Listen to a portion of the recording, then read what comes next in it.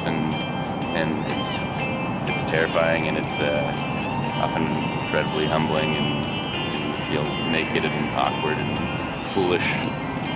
Even even the the, most sort of uncomfortable, ugly nights, and um, it's much more satisfying than than anything else I've ever done. Even even the, the horrible aspects of it are at least we own them. They're our things. You're not trying to to uh, make money. You're just trying to make something that you that you find uh, exciting and engaging and moving and on some sort of emotional level. And I think that's what all the good art is. That's all. That's the only objective is to is to make something beautiful out of nothing.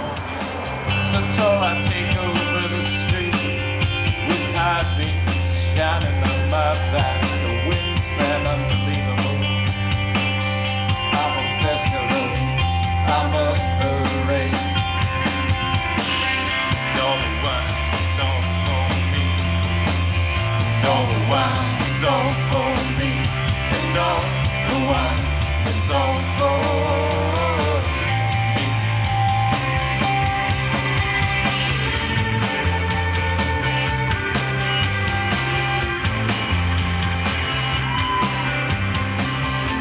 a birthday candle in a circle of black girls.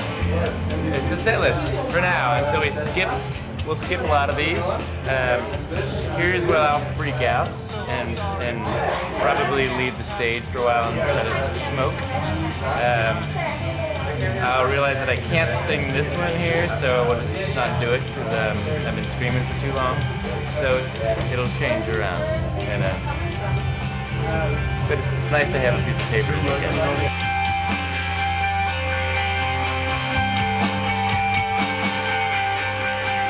Here's the here's the um, the line that means encore, which um, which is a, a presumptuous thing to do. Um, so we'll see.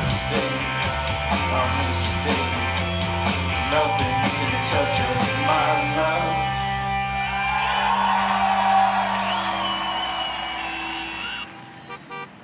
And uh, without further ado, this is a band that was uh, Band of the Day on Spin.com, I think like in April. They're originally from Cincinnati. They all live in Brooklyn now. And uh, they are playing two sold out shows later this week in the area. Tomorrow at Warsaw and Friday at the Bowery Ballroom. These guys are hot. One day you'll say, I saw them once at Spin House Live. Um, without further ado, Beggars Banquet recording artist, The National.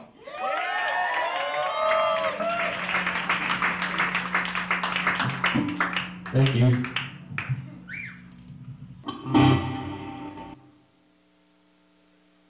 This is a love song.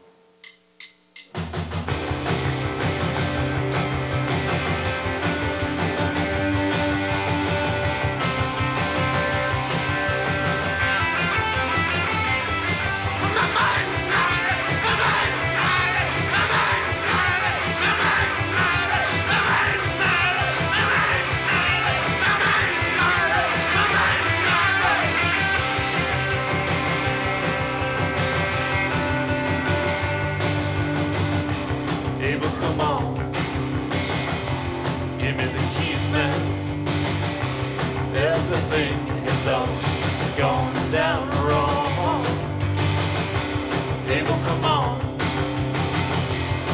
The National, I feel like, are one of those bands who fall in same kind of territory adopted by uh, groups like Nick Cave and the Bad Seeds and the Tindersticks. Because they're a band that rewards attentive listening, if you give them time, you're going to fall in love with those songs, and that they're a band you're going to love for the rest of your life. they're not particularly sort of taken by sort of you know fashion or um, or sort of the scene. They've always operated at you know sort of in their own world. They've always sort of been their own band. There's no posturing. There's no there's no rock star moves. You know, there's no spandex pants. Band are who they are. I feel like they're sort of the outskirts of the New York music scene. I feel like a lot of bands in the New York music scene right now are defined by a very specific kind of look, a very specific fashion, a very specific ethos. Um, I feel like the National are a bit different from that. They're one of the few bands that I've talked to who you really get the sense that these songs are inside of them and are dying to come out, and that they have no choice but to let them out.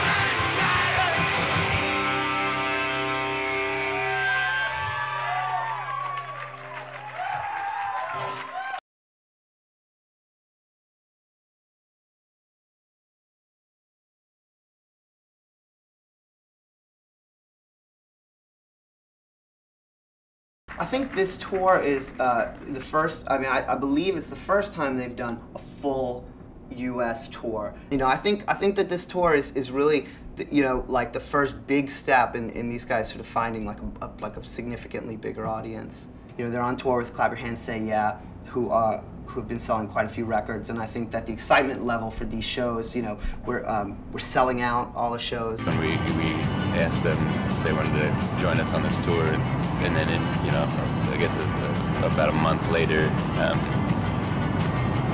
their their record just exploded. Um, so, uh, and they so they're in a spot where they're more well known than we are. Um, and they're opening for us for a month. Um, so both both bands are aware of how awkward that is. Actually, let's see what they say about the National. Sorry. Here in New York, and my guest is singer-songwriter Alec Ounsworth of the band Clap Your Hands, Say Yeah. Alec, congratulations on all your success so far, and we'll look to hear more from you in the future. Thank you very much. You're listening to Soundcheck.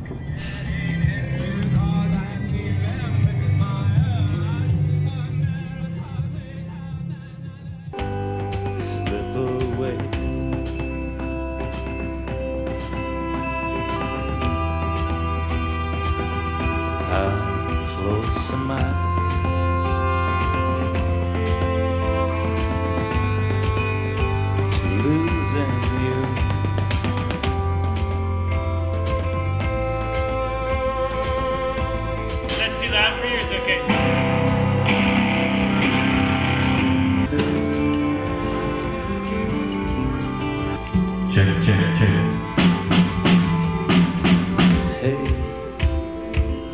Are you awake?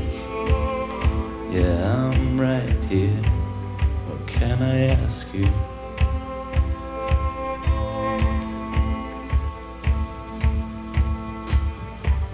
About today.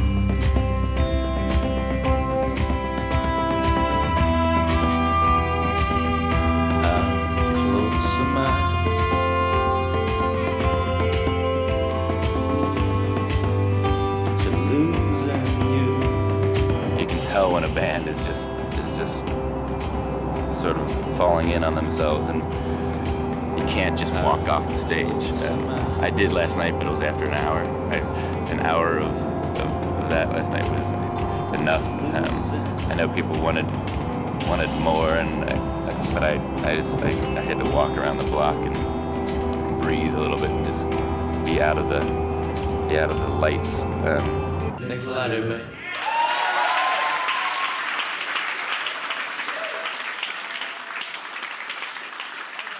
Know what I by not coming back to do the encore, and they went up all on stage thinking of, and I was just gone. Um, I kind of left them out hanging there, and um, and I know that, and I apologize, and it was it was the wrong thing to do, and that that's that's that's an example. But they were they didn't give me a hard time about it, and they should have, they could have.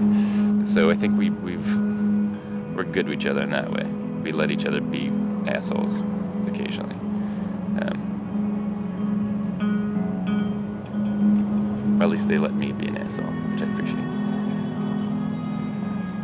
I think you know. I think those guys want to, um, you know, they want to succeed, and I think that you know they're a little bit older, so I think they have um, concerns that younger bands don't have. You know, they own houses. They, uh, you know, they realize that music for them is the most important thing in their lives, and that you know all their decisions now are based on very adult sort of thoughts about about where they're going and, and what it's going to take to actually get you know to get there and to be successful and to be able to make a living doing music and not have to go back to their day jobs. Because the band is older than a lot of other bands who are just starting out right now, it gives them a sense of focus. They really feel like the clock is ticking on them and they need to make this happen. I think that now that they're aware that they've got a lot of upward momentum, I don't think they're going to squander that.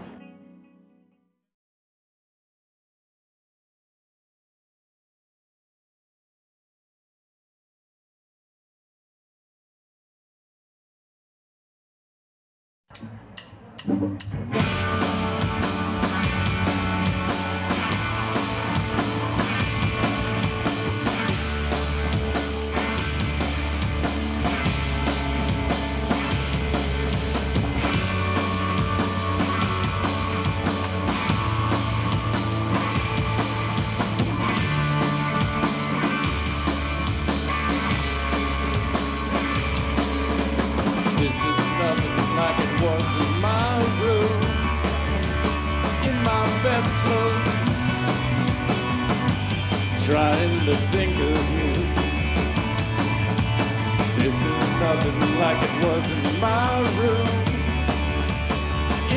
Best clothes.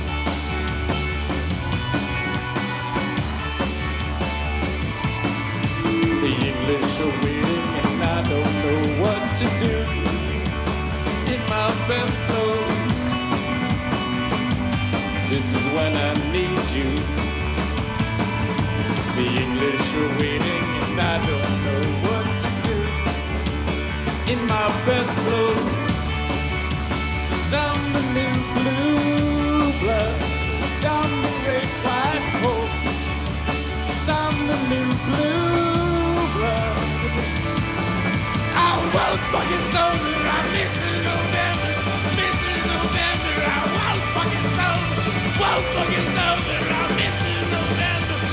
I fucking sober.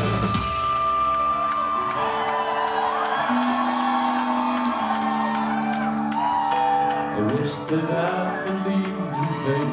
I wish I didn't sleep so late. I used to be carried in the arms of cheerleaders. I used to be carried in the arms of. I used to be carried in the arms of cheerleaders. The new blue blood. I'm the great white hope. I'm the new blue blood. I was fucking sober.